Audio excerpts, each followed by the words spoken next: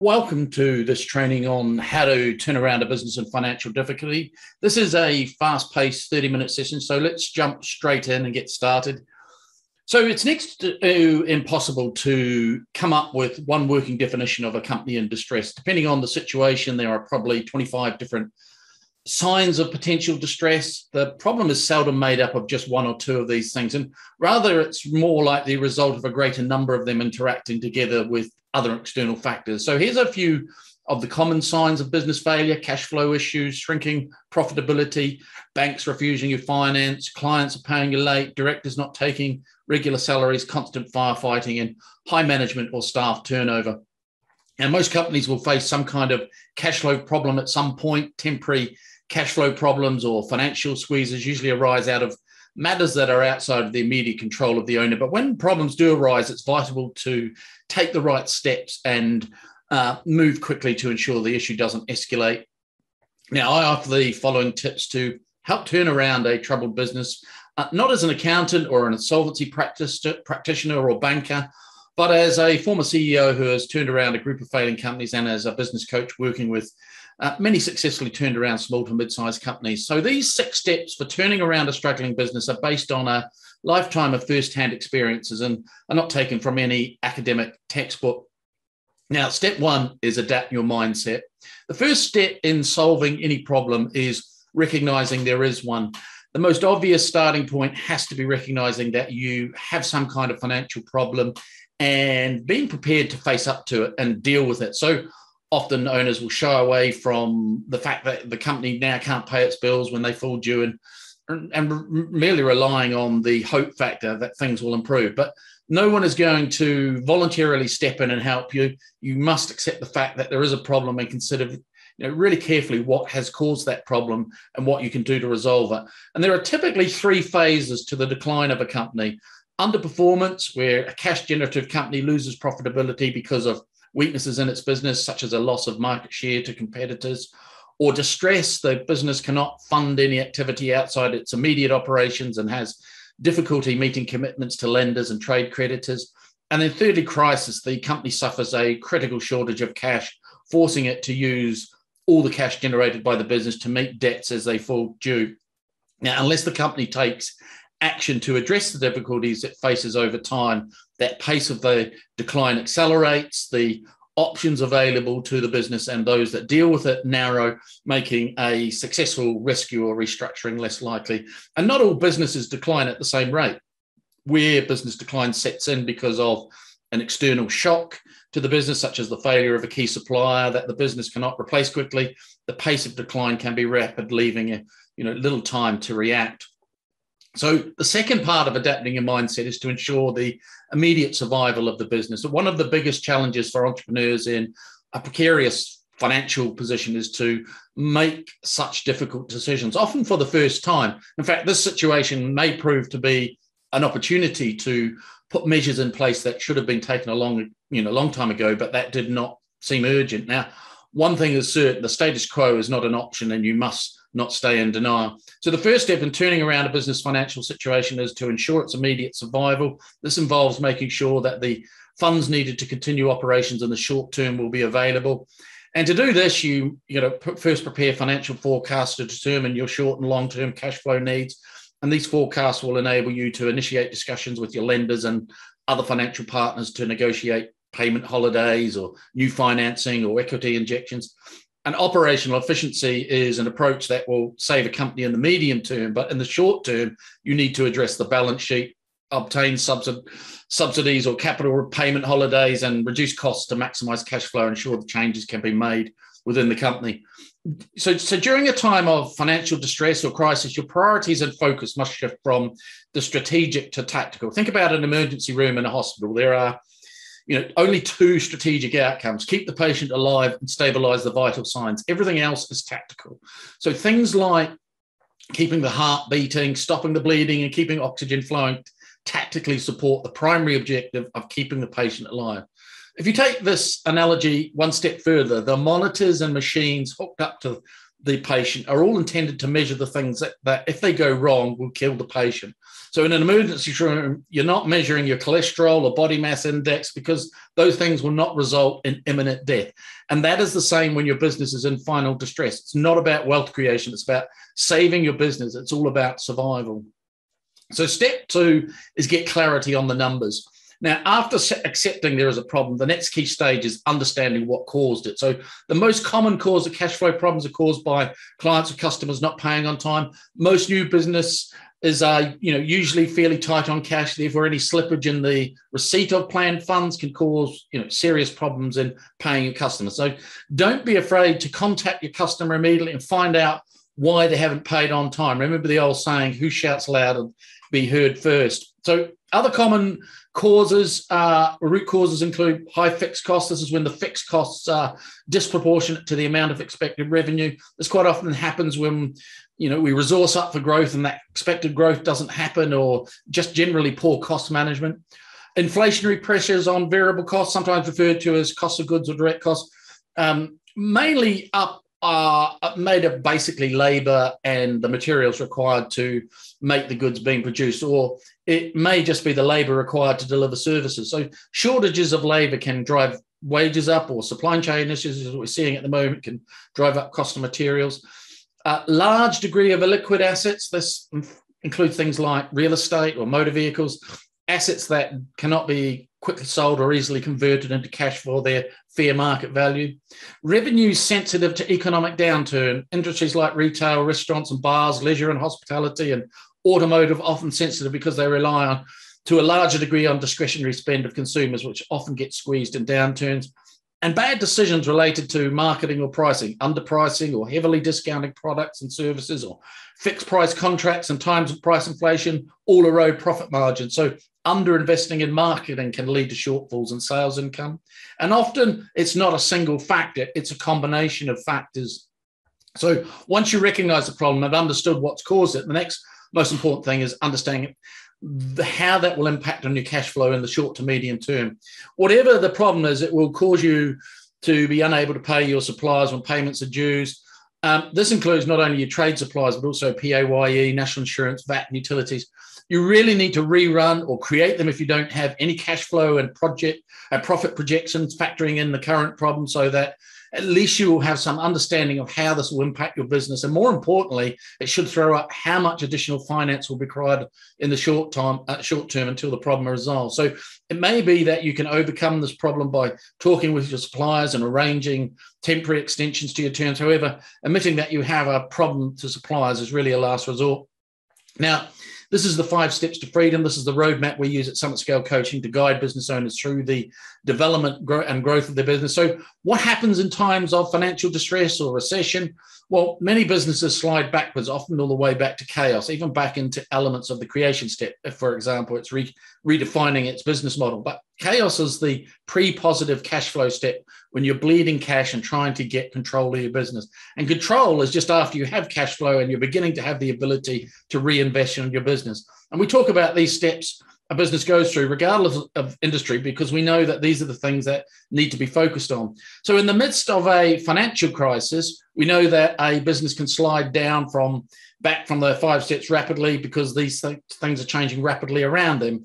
And what I want to do is just give you three strategies to help understand what to get back to do to get back above the cash flow positive. So, these three strategies are the cash gap plan, the break even plan, and the tactical marketing plan. So, let's have a look at the cash gap plan the first thing you might ask is, well, what is a cash gap plan? So it's an efficient plan to quickly collect your outstanding receivables, get your customers to pay faster, and negotiate better terms with your vendors so that your bank account always has plenty of cash in it. In other words, a cash gap plan is a plan to ensure that you have enough cash to meet the needs of your business as you're continuing to grow your customer base, buy inventory or uh, stock, and, and make your payroll. So when we do a cash gap plan, our goal is obviously to ensure that there's plenty of cash available. So the concept is a little easier to understand when you look at a visual, often called the cash conversion cycle. So in this particular business, they become liable to make payment for their inventory or stock at 30 days. They take 30 days to add value and ship the uh, inventory at day 60. Then, as in as often the case, after you've shipped the product, you're given 30 day terms terms to their customers, and then you've got to collect the receivables. In this case, you're receiving the cash at 120 days, so your cash gap is 90 days. That means for three months, you don't have the cash to use in your business. Even if you're a service based business and don't buy in stock uh, or inventory, your inventory is the cost of services in the form of payroll expense. So, in a non distressed or normal scenario, we're focused on creating a zero cash gap position. So, there's no gap between when you pay for your inventory or make your payroll and when you actually receive your money from your customers. This is the goal of any cash gap plan, but it doesn't necessarily mean that you're going to be able to get to zero cash gap. So, you need to have a plan to fill in any gap that may exist.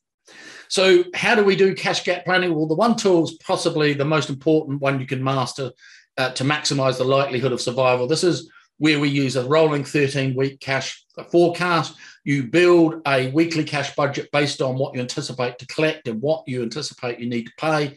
And you can see this as a particular example in that the third week, the business ends up with a negative closing balance. Obviously, we can't let that happen. So we build out the cash forecast. We need to start to think of ways to accelerate inflows or slow down outflows. So we've updated the forecast to account for less outflow during this three week period to make sure we don't go into a negative balance. And so I view this as the anchoring scorecard for a business throughout a period of uncertainty. These are things that you have to plan for and then adjust over time. And believe it or not, you can even take comfort even from having a negative amounts because the idea is you've planned for it now where you're able to say, okay, do we need to explore external financing? So this is a really powerful tool for you to use in control of your cash as you move forward. Some businesses have a formal cash budgeting process in place. Very rarely it's weekly. I've even managed turnaround businesses where we did it daily. So if you'd like a copy of the 13 week cash, uh, cash flow forecast tool, email me at shane at summitscale.biz. Okay, so to work on the cash gap plan, there are some strategies that you can use. First of all, focus on faster collection systems. Maybe you want to incentivize your accounts payable team to collect money faster from your customers possibly pre-sale products or services. I don't know if you uh, saw in the pandemic lockdown, uh, restaurants were selling gift cards at a discount that they could be used for 90 days. So they were getting cash in the door now, right, you know, right up front for their services. Another strategy is to defer fixed payment payables. For example, um, speak to your landlord if you're a retail business about deferring some portion of your rent. Are there other payables that you can defer through negotiating with your suppliers or vendors? Additionally, what are your stock or inventory levels and are you cutting unnecessary purchases? Look at all recurring subscriptions and decide if they, you know, any of those can be cancelled. And all of these things you should be doing when there isn't a distress or crisis. However, in distress or crisis situation, it's also crucial to identify the right resources of extra cash that your business needs to stay in business. So it's important to asset, access the right financing support. And if it transpires that you need additional short term funding, when you need to consider very carefully how you go about securing that funding. So, any external funding will obviously cost the business money. Are you able to raise funding from your own resources, savings, or family? If the answer is no, then you may consider other options. So, does the company have assets against you know, which it could raise finance? It probably won't be cheap, and effectively you lose title to the asset until such time as you pay off the finance. So, better that that then end up in liquidation having lost everything. And there are literally hundreds of asset-backed lenders in the marketplace. The governing body for asset-backed lenders is the Asset-Backed Finance Association. You get a full list of their members on their website.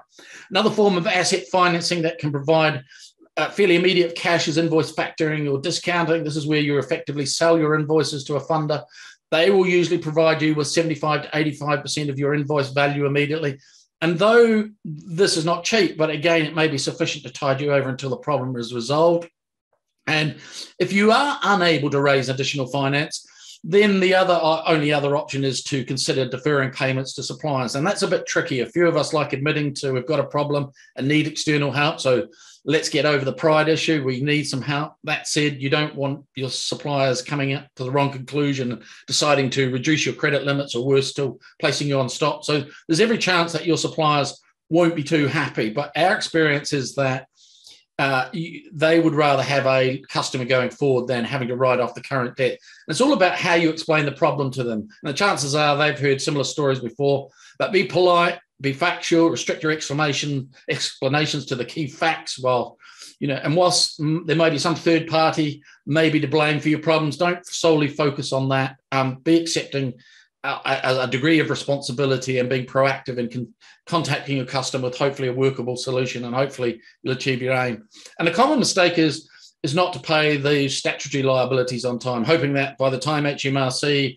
uh, become aware you'll have solved the issue. And that doesn't usually happen. HMRC are now far more alert to when arrears become due, mainly due to their real time payment scheme. And over the years, HMRC have become slightly more commercial than the past and are slightly more receptive to requests for time to pay. However, you have have to have a really good reasons as to why you've got a problem and a really good plan for dealing with it. So step three is implement a break even plan. So this is the second tool to get above that cash flow positive. What is a break even plan? What's an aggressive plan to stop the bleeding of cash temporarily, cutting all non critical expenses or driving sales above the break even by selling existing inventory or stock or service capacity to cover operating costs, debt service, and personal drawings? Now, this is a really common chart that has you know been around forever. It's a really important for you to understand this break even graph and how it works, particularly the concepts of break even, net profit, and maximum utilization. The dark red line represents your fixed costs, including your overhead and administrative salaries. The orange line represents variable costs, which are made up of basically labor and the materials required to make the goods being produced, or it may just be the labor required to deliver services. When you add fixed and variable costs, you get your total expenses represented by the grey line. And the goal of the business is to generate enough revenue represented by the blue line to exceed the total expenses.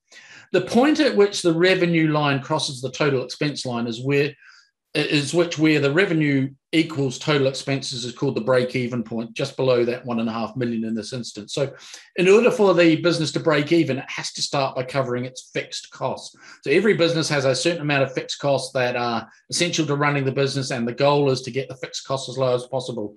And the horrible thing about fixed costs compared to variable costs are that fixed costs have almost no connection whatsoever to sales volume. So, if the business goes through something traumatic or is affected by an economic downturn or something, that the fixed costs don't go away. And that's a big downside to fixed costs. They don't typically change or go away without overhauling the business. So, some examples of fixed costs are being locked into a building lease where you have to pay the landlord rent every single month, or your quarterly insurance expenses, or your equipment leases, or there's, there's a key salary or two of general managers or a bookkeeper. Costs that don't really have any direct relationship with sales volume, but they're key, they are key salaries um, that just need to be there in order to run the business. So there are all sorts of fixed costs that you can have in a business. And even if sales drop off those fixed costs, you aren't going to go anywhere. And that's the problem. So every business needs to have a certain amount of sales to cover their fixed costs. And that becomes a challenge for businesses that are running at or below break even. So to implement a break even plan, what we do is we establish that break even revenue target. We evaluate the opportunities to um, reduce those fixed costs. We explore ways to manage the variable costs and then make sure we're utilizing all inventory and materials of stock on hand. Now we start to communicate the new KPIs to your team. What is our target? What are we trying to accomplish here? And then implement the tactical marketing plan to hit the revenue target. And I'll go through that in a, in a minute. So just to give me give you six tips for implementing a break-even plan. So number one, be anticipatory rather than relying on your reflex. And what I mean by that is, since we don't know, you know, how long you're going to be, it might be in distress for, or how long things are going to go on. For some of you, it'll you know pay to think about and plan for phased expense cuts. Sometimes you can afford to carry a loss for a while if you have some capital reserves and choose to invest in some of it now. On the other hand, for many people, it'll just make more sense to get ahead of the curve and not you know not try to play catch up later. So you must use your best judgment about your specific situation. But every day you delay adjusting your burn rate, it's cash that's gone forever. And then Secondly, extreme frugality is the new mantra. Minimize expenses fast, cut fat, then muscle, but be really careful about the bones. Shredding, you know, shedding a few uh, excess pounds is is very different from managing a broken leg. So most businesses are carrying around some excess weight. They can easily be trimmed. If you your strategy for weight loss is to amputate your leg, though, you'll limp for the rest of your life. So it does no good to you know die of starvation of all your bones intact but so be really thoughtful but the critical critical message uh, thing here is more often than not, the bones of a business are probably a few key employees. So here's the critical question: Who is your who in your organization is the bone? Who are the people? And if you lost them, would result in your business limping after your after any crisis is over. Thirdly, the hardest expense really is to deal with payroll, which for most businesses is the single, you know, largest single expense on their financials.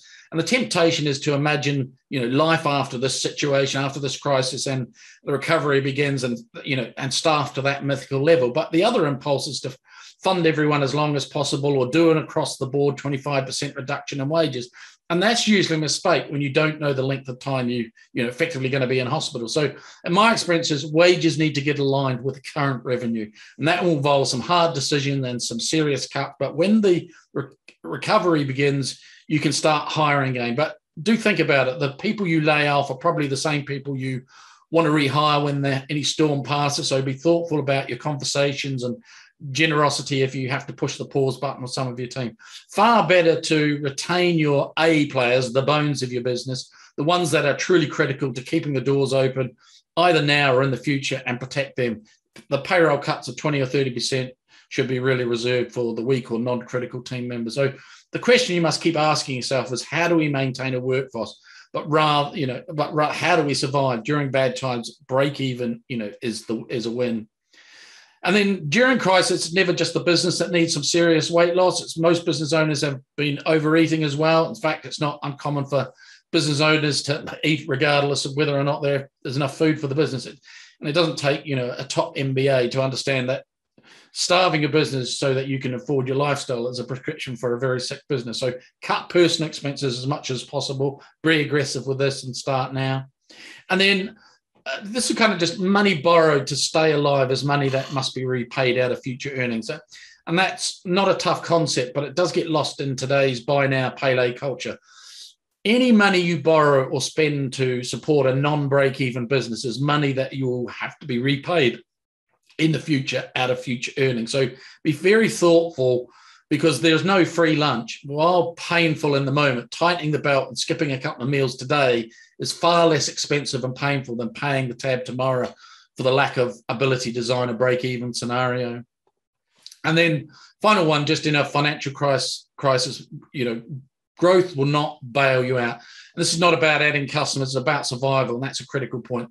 You know, problem often the business is, just in, in financial distress. It's about how do we survive, how do we stabilize, how do we break even, how do we preserve our oxygen, our cash, to be able to make it an extra month or quarter if need be? How do we minimize the mortgaging of our future by being aggressively frugal today? So not all progress is measured by ground gained. Sometimes progress is measured measured by losses avoided. Right. Step four is to focus on your customers. And um, if you have customers still around, you need to get on the phone with them and just ask them, how can I generate more value for you and the work we're doing? You need to make sure that the current customers are happy because if you're in this situation, you probably be you've been putting out fires, you haven't been giving the right attention, and they might feel neglected. You want to get on the phone, schedule calls, make sure they're happy because the last thing you want to do at this point is to have somebody not paying an invoice or have somebody fire you or have a bad customer experience. So if you're a great entrepreneur, you probably have customers that want to tell you, you know, how much you, they appreciate you, but they don't need to know about any restructuring. But you need to make sure that they're they're happy now, depending on the level of distress, you'll pr- probably be wanting wanting to win new customers also. So let's talk about the tactical marketing plan. And again, frankly, every business should have a tactical marketing plan through any normal period, but it's crucial right now in a, in a, in a situation of financial distress to double down and continue to market uh, because customers are going to remember that businesses that are strong and informing them in the marketplace during any crisis. It's not an option, you know, just to slow down and to pass, disappear. So um, what is a tactical marketing plan? Well, simply stated, it's an aggressive, measurable plan to get leads, um, convert those leads to sales, and get the right level of revenue per customer. And the key words here, obviously, leads, conversion rates, and revenue per customer. So the tool we use here is the profit equation. So the concept here is we just increase these things highlighted in black bold here by just 10%, and it's ex- exponential impact to the bottom line. So for in this example, for the prior period, if we achieved a thousand leads, how could we increase that by 10% to 1100 leads. So if we historically convert 20% of our leads to sales, how can we increase that to 22%? If we historically make 1200 per annum per customer, how can we increase that by 10% to 1320? And so you can see a 10%, increase in, in all five KPIs has a significant profit increase. Now, this is a sample, um, and and but you can see the importance of leads, conversion rate, and revenue for um, per customer. Now, in generating le- leads, there are more you know vendors and ideas out there on how to generate leads that you can imagine. But we like to talk about uh, lead generation strategies, and the, these are the ten most important uh, lead generation strategies that we talk about with our clients. The most important part of the ten lead generation strategies is that you pick two or three. You can't be average at 10. Be great at one, be great at two, be good at three. You can't be average at 10. You have to pick the two or three strategies that are right for your business. And there are always ways to decide the right strategies are. One of the driving factors right now for lead generation strategies is what is the amount of working capital do I have to invest in marketing? And that may drive you to a certain strategy.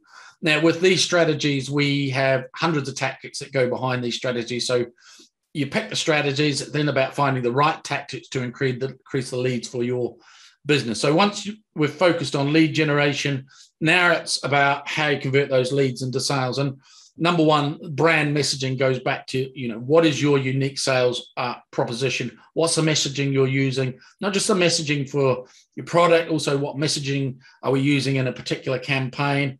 you know, a lot of online marketers use split A/B testing for different messages, different images to see what generates best results.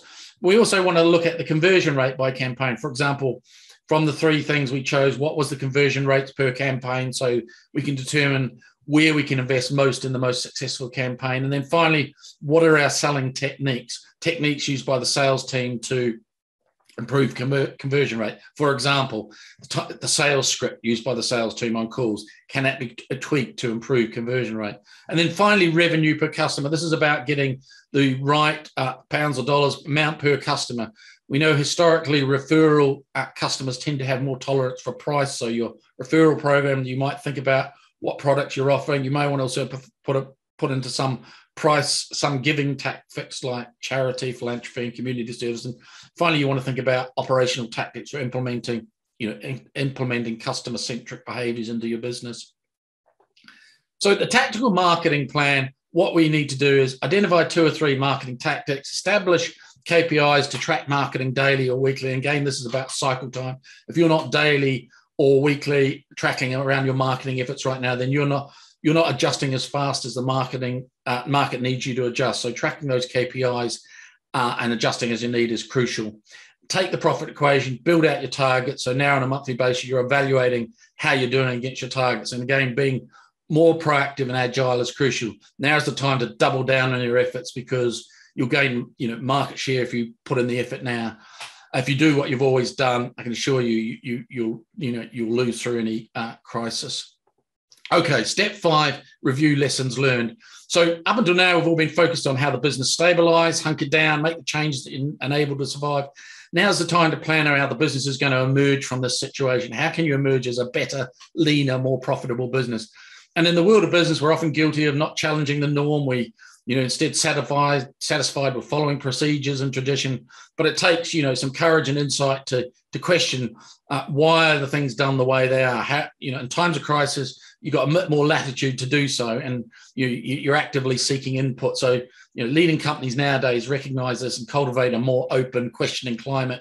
You know, across a business at all times, because a degree of continual review is healthy within a business you know, the survival plan now has to evolve into the recovery plan, a business plan, build some forecasts. And many small and medium sized businesses don't have detailed financial forecasts. So, this is a really good time to spend some time on building out the budget and your forecast to reflect your new plan. Again, there may be need to some thought to who is going to do what within the team. Has everyone got the right role? Does everyone know what they're supposed to be doing? This is a great opportunity to review everything that's happening in your business. So try and uh, make sure you're really well placed to come out the other end. And many businesses have different groups of shareholders. For example, it could be a small business with two shareholders, 50 50. Over the years, they've decided that they want to do different things. Well, as Winston Churchill said, never waste a good crisis. this could be a really good time for them to actually sit down and have a frank conversation, decide what each of them want. Does one does one want to exit, or are they both going to decide on how they're going to go forward together? And now is definitely the time for a period of reflection on what you've learned as you've gone through this experience. Can processes be improved? Are the right people in the right roles? What was the pro business focused on? Was the business focused on the correct strategy? Can the use of technology you've been forced to use, like we've been through the pandemic, Zoom, improve efficiencies in the business? And as you reflect on reflect on what the business look like if you're setting it up today with the benefit of hindsight, and then step six, the final step is build back better. So what's going to be really important? Well, I I keep saying this, but cash availability is the key thing that has to be focused on. The weekly forecast needs to be updated every day. Things change by the hour. So you keep on focusing on that cash flow. You're not going to lose control, hopefully. This is a really good time to look at the information that you um, use to run your business is the information that you really need. Often when you've been running a business for a very long time, there's information produced that has very little relevance to the key drivers today. So what information do you really need? What are the key drivers now? Are you monitoring them properly? And is the right information getting to the people that actually need it? And then what's the state of your sales ledger? Do you actually know who owes you money? So now's a good time to make sure that you have the right controls in place. That equally applies to expenditure items. One client reviewing their fixed costs discovered that they had more mobile phone contracts than staff. So all of these things should, should be actually, you know, in the end lead to a more leaner, profitable business. And the other thing that is important is communication. We need to understand from our suppliers how quickly we can get things done, just the impact on how quickly that we can service our customers. We need to tell our customers, say that, you know, that doesn't impact their business and if we all work together. So the main thing is to communicate within the business with your key stakeholders. And finally, you know, again, I'll say make sure, you're focused on cash. Right, just final couple of tips. Um, don't be afraid of seeking professional help. Your accountant will undoubtedly be able to look at your problem with an impartial hat on and without the emotional attachment that you may have to the business. Uh, it's likely that your accountant will be able to offer advice on alternative funding solution solutions, and they'll no doubt be able to make recommendations to other professionals. A business coach or mentor who has the experience in dealing with business turnarounds will help you guide you through the process. And from a legal perspective, you know, directors should be especially cautious and informed about the state of the company finances when things are tight, because at the moment of insolvency, your legal duties shift from being to your shareholders to the company creditors. Failing to understand this and act accordingly can have serious legal and financial consequences for directors, such as wrongful trading. Uh, and finally, only discuss your problems with people you really, really trust and people you truly believe can help it's quite simple having a word with a friend, but you must remember that in business there are no secrets. It's it's only secret if you haven't shared it. Okay. So if you have any questions, I'd love to answer them. You're probably in one of three places now. Maybe at the end of this and say, hey, I'm good. I got this. Thanks. I've got a couple of tips. That, if that's the case, awesome. Really happy for you. Fat impressed with your success.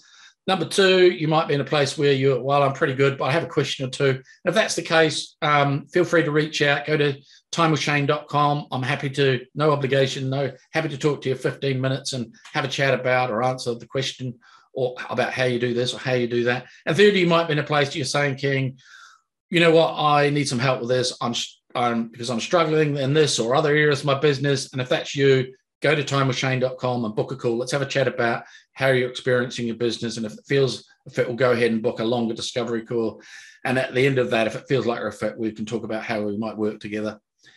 So the challenges of most business owners that I work with are around time, team, and money. That's why I'm running these monthly lunch and learn training sessions for business owners such as yourself. Uh, next month's topic is how to recruit and retain a powerful team. That's on Wednesday, the 15th December. So look out for the registration details. That's it. Bye for now.